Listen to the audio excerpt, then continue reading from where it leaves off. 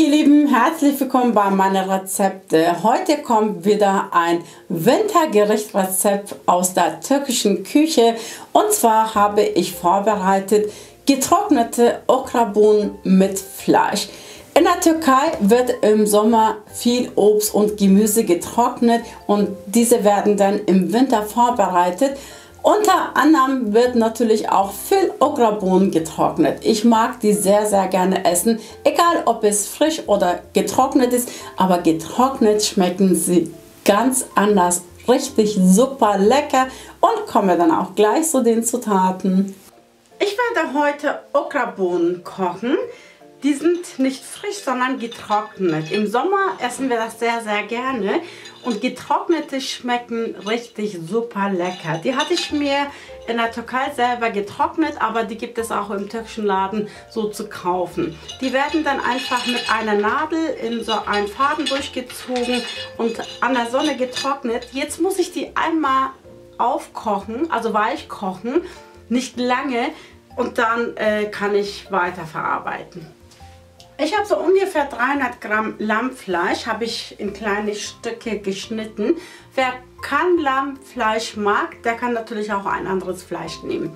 Dann eine kleine Schale Kichererbsen. Ihr könnt welche aus der Dose nehmen, aber ich habe immer in meine Tiefkühltruhe welche, die ich ja vorgekocht habe. Das habe ich euch auch schon mal gezeigt.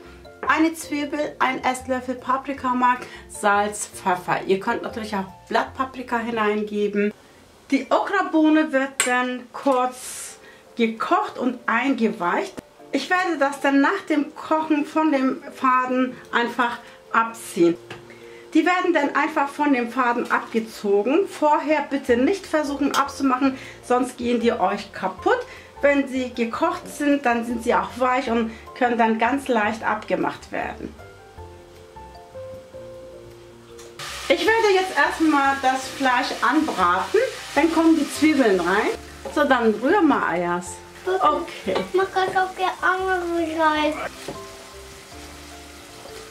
So, dann rühr mal.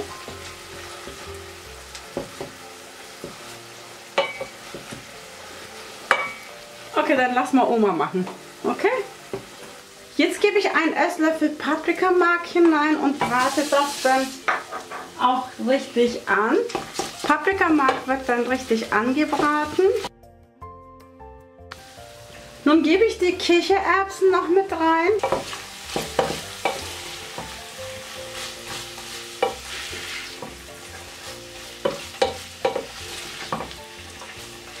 Ich gebe dann noch zwei getrocknete Tomaten hinein. Die Okrabohnen kann man jetzt leicht von dem Faden abmachen. Das geht super schnell.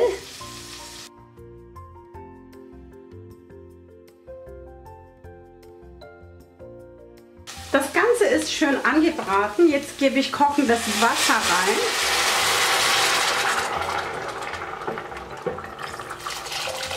Bis zur Hälfte. Ein kleiner Tipp von mir, damit die Okrabohnen beim Kochen nicht schleimig werden, gebe ich dann ein bisschen Zitronensaft hinein und dann kommen die Okrabohnen noch hinein.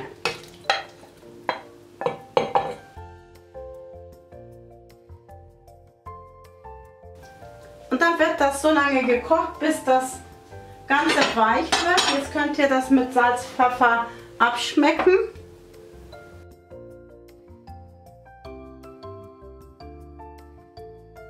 Ich mache den Deckel zu und lasse es dann auf schwache Hitze kochen. Also das ist sehr, sehr wichtig. Bitte nicht auf ganz hohe Hitze kochen, sondern auf ganz, ganz schwache Hitze, damit die Bohnen auch im Ganzen bleiben.